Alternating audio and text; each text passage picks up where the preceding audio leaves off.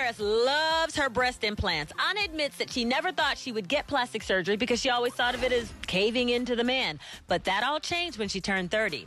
She tells Women's Health, I was always a negative A cup, so when I was 30, I was getting a divorce. I had just finished House Bunny and I'd sold another movie. All these new things were happening to me, so I got my breast done. It was awesome. Boom. There you go. It's just that simple. Yeah. Uh, I don't. I don't People- like. I don't like breast implants. I like.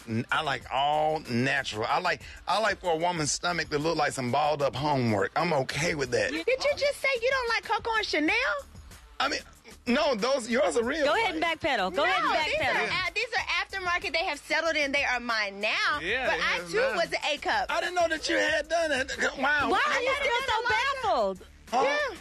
Because they because they look natural and I don't. They do. like- They look They do. I never flaunt them. I don't believe you. Let me see. Ah.